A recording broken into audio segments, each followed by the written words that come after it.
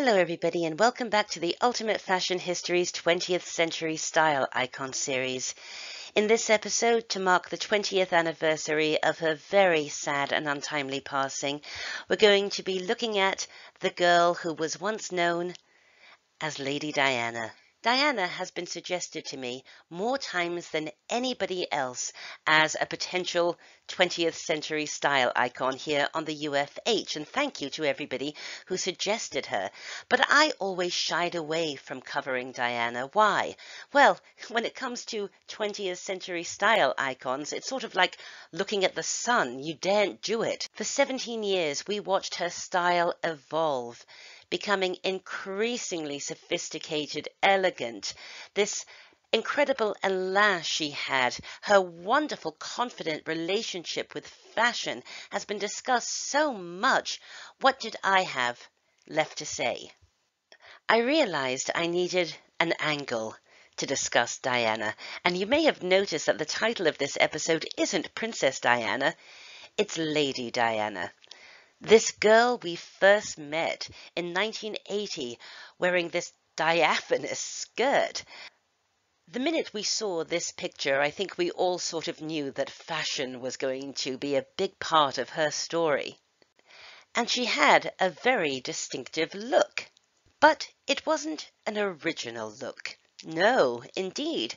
When we first met the young Diana, she was dressing exactly the same as every other young woman in her tribe. So I'm going to discuss Diana as the optic through which to talk about Sloane Rangers. Now, those of you in England probably know what a Sloane Ranger is, and those of you who were old enough to remember when we first met Diana, you'll probably remember that this was our first introduction to the Sloane Ranger. But for those of you who are perhaps a little bit younger and maybe not English, let me explain who the Sloane Rangers were. Sloane Rangers were so called because they congregated around Sloane Square in London. They shared flats in posh boroughs like Kensington, Chelsea and Knightsbridge. Female Sloanies, as they were known, often worked as nannies for other posh families, or perhaps PAs in the city. Their male counterparts were often known as Hooray Henrys. They worked in the city, sometimes they were in the military, sometimes they worked for daddy's company. Uh, here they are wearing regatta stripes. Often Hooray Henrys were not that well behaved and would often get into rowdy trouble after too many Pimm's, which these boys are drinking here. But of course, real home was mummy and daddy's country estate, or at least big house in the country. So it was this very town and country life. These were young people who held on to quite traditional values, this sort of old fashioned upper crust, upper class English way of life. Some of them were indeed minor royalty, like Lady Diana Spencer, and many were just very affluent, privileged young people who all went to the right public school and they all stuck together in this pack, in this tribe the Sloane Rangers. Sloane Rangers were a cultural phenomenon in England in the 1980s. Of course, there was the Sloane Ranger Handbook by Ann Barr and Peter York that poked affectionate fun at the Sloanies. The Sloane Ranger Handbook, of course, was a bit like the Preppy Handbook over here in America in the 80s, and indeed there are parallels between the Sloanies and the Preppies, just as there are parallels between the Sloanies, the Preppies, and the BCBG crowd in France. And of course, they had the right uniform. The object of being a Sloaney was to dress identically to the Sloaney you shared a flat with or the Sloaney you were going to a party with. It was all about identifying, identifying with your own social class. Here, as illustrated in the Sloane Ranger Handbook, you have the typical Sloaney city outfit. And here the country togs, and sometimes elements from the country wardrobe would overlap into the city wardrobe and vice versa. Sloane Rangers were instantly recognizable during the 80s in England and often made fun of, like in this Heineken ad, where this Sloaney is given a Heineken and I think she quite likes it. But please note how she's dressed with that high ruffled pie crust blouse, the string of pearls, the Alice band, the tiny little earrings, and no doubt she is saying, Okay, ya. Okay, ya was the catchphrase of the Sloanies, often heard at the White Horse, their favourite pub, also known as the Sloaney Pony, where they would sit around drinking gin and slim, their favourite drink, gin and slimline tonic, diet tonic. I say, Caroline, do you fancy a gin and slim at the Sloaney Pony? Okay, ya. They really were made fun of, but they were very proud to be Sloanies. I have to make that point. They were very aware of what they were doing. The designer of choice for every Sloane girl was Laura Ashley. This was a big moment for Laura Ashley. A lot of these rather nostalgic looking print dresses with dropped waists and big sailor collars. It was all very traditional, very frilly, very ladylike. You simply could not be a Sloane Ranger without Laura Ashley. And Lady Diana was no exception. She had a lot of Laura Ashley in her early wardrobe. And talk about those tall, pie crust frilly collars. But none of this was unique to Diana. Take a look at her here with her pie crust collar and sensible jumper, and then look at the girls around her. They're all sort of drawing from the same fashion aesthetic, aren't they? Of course they are. They're all Sloanies. The idea of having a house in the country or an estate in the country was very dear to the hearts of the Sloanies, as most of them did. And so it's no surprise that labels like Burberry and Barbour were so close to their hearts a lot of khaki, a lot of padded jackets, padded vests, stuff like this, wellies. Of course, you needed your wellies because the idea was that you were sensible. You liked country living. You would be walking your dogs, you'd be riding your horses, and then you might even pop up to town for a quick shop at Laura Ashley or Peter Jones, but oh my goodness, you didn't have time to take your wellies off. And there's Diana in her wellies tweed, a lot of tartan, a lot of tweed. And there, of course, is Diana in one of her most famous outfits during her honeymoon by Bill Pashley, I believe. And here it is, that very suit. And there she is in her Barbour outdoor coat with a Range Rover behind her. That was the country vehicle of choice for the Sloane Ranger. And even though they could afford to drive very nice little sports cars in London, they didn't. They often drove small second-hand minis, things like that. Sensible, you see. There was really something sensible about the Sloane Ranger. There's something about the British upper classes, in fact, that kind of revel in cutting corners when it comes to unnecessary luxury. So, let's do a complete anatomy of the typical Sloane Ranger wardrobe circa 1980-81. Starts off with sensible underwear from Marks and Spencer's. This is important. Then Dior stockings. You see, not all of your undergarments were supposed to be practical. No, your Dior tights showed that you had money. Then, of course, your calf-length Laura Ashley ruffled skirt, ruffled blouse, usually with a pie crust collar, over which you had a sensible Marks and Sparks V-neck sweater, often from the menswear department. The ubiquitous string of pearls. Then your Barbour padded vest because you were a country girl at heart and you might be running home to mummy and daddy's country estate as soon as you'd got off work as a PA in the city.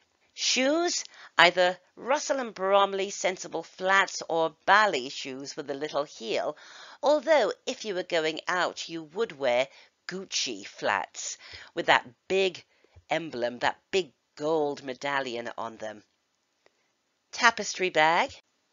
And then we just have to put Diana's pretty head on the top. And we can see She was an absolute Sloane clone. She was dressing the way she was supposed to dress for a girl of her age from her social class. And there she is again with her sensible Marks and Spencer's V-neck menswear sweater, Laura Ashley skirt, frilly pie crust collar. And there she is again plaid skirt, sensible jumper with the turtleneck underneath. She really was part of that tribe. And what I find so interesting and what I love about London is this. Okay, here is a map of the King's Road with Sloane Square there on the right. In the centre is Peter Jones, a department store that was very favoured by the Sloanies. And the King's Road, Sloane Square, Cadogan Place, all of this area was of course the Sloane Ranger stomping ground, but in the early 1980s it was also the stomping ground of the New Romantics.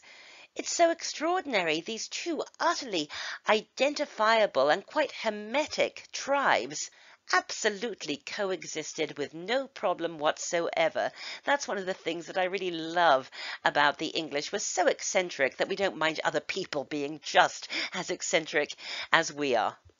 If you would like to learn more about the New Romantics, oh yes, there's an Ultimate Fashion History special on them.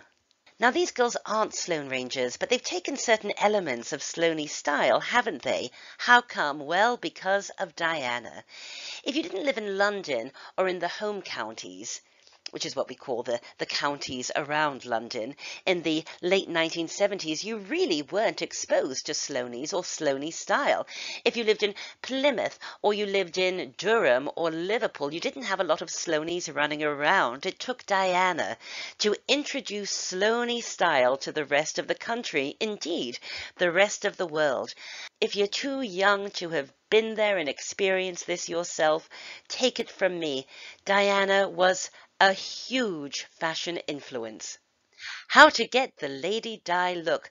What they're really saying here is how to get the Sloane Ranger look. Please dye my hair. Royal bride starts a fashion wave. And she certainly did. Now you can look like Lady Di. We like her style. All of these Sloaney elements Diana was given credit for inventing, but in fact she didn't. She was just doing what she was supposed to do, dressing the way she was supposed to dress.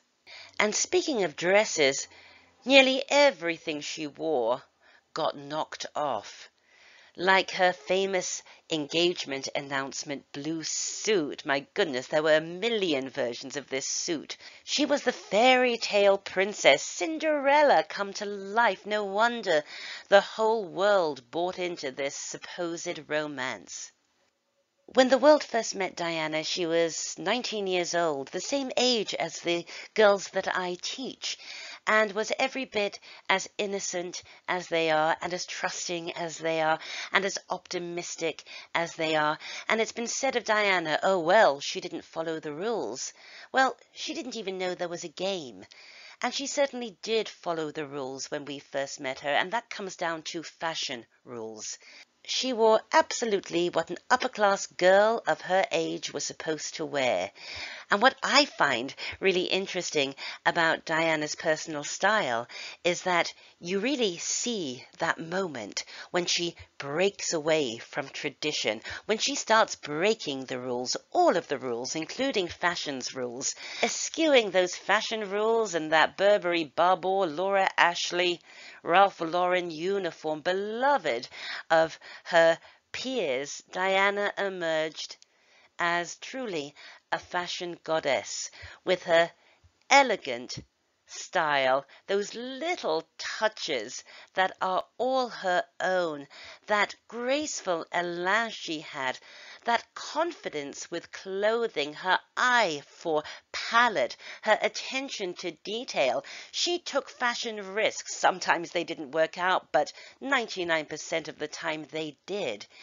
And I think it's so interesting to see this evolution from that pretty young girl we first met in that lavender Sloaney uniform to the absolute fashion icon she eventually became because what makes somebody a true style icon is originality and confidence, and Diana had it both in spades, at least in terms of her relationship with fashion. So here's the irony detection meter, and you see the finger is going off the scale because, ironically, although Lady Di was the absolute poster girl of the Sloane Ranger, she was the opposite. You see, the whole ethos behind Sloane Rangerism was tradition. To do what was expected, to do what was proper. Basically, keep calm and carry on no matter what. If your husband runs off with your nanny, it's all right as long as you get to keep the house in the country and you have your dogs. You don't talk about your feelings, you keep them all bottled up in that upper class suppressed kind of way, and you tie your headscarf even tighter under your chin as you treat yourself to a shopping spree at Peter Jones. Diana wasn't like that. She divorced her philandering husband. She talked about her feelings, and by doing so, she was speaking to so many people who may be feeling the same things she was feeling. She did things her own way. She raised her children her own way. And that included trips to McDonald's. She did things people didn't want her to do, like getting up close and personal with AIDS patients, walking through landmine fields. She was pretty much the opposite to any Sloane Ranger I ever met, that's for sure. From that 19 year old girl who just did what everybody told her to do, God love her, she really became her own woman, breaking away from not only Sloane tradition but royal tradition. Diana had integrity. She was a true original. In August 1997, I remember waking up one morning, turning on the radio, BBC Radio 2, which I listened to a lot in those days, and fashion designer Jeff Banks was on the radio talking about somebody who had obviously died. And I remember him saying something like, From that moment we first saw her in that transparent skirt, we knew dot dot dot. And I remember thinking, well, who's he talking about? And having this feeling, well, the only person I can think of who wore a transparent skirt famously is Diana, but of course it can't be her. And then the news reporter came back on and said, for those of you who are just joining us, I regret to inform you that Princess Diana has been killed. I feel quite emotional now, actually, thinking about that moment.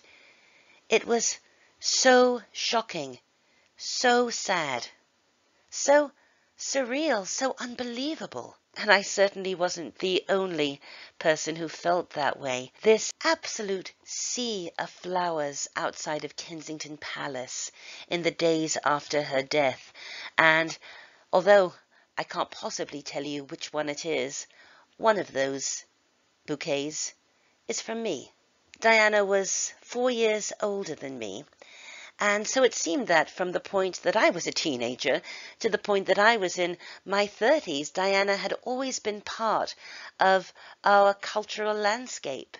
So much of what she had experienced, so many of us had experienced. Insecurities about our looks, about our weight, infidelity, heartbreak, so much of what Diana spoke about so openly and so warmly resonated with so many women of her age all around the world that I think we really did feel as if we'd lost a friend or at the very least a champion.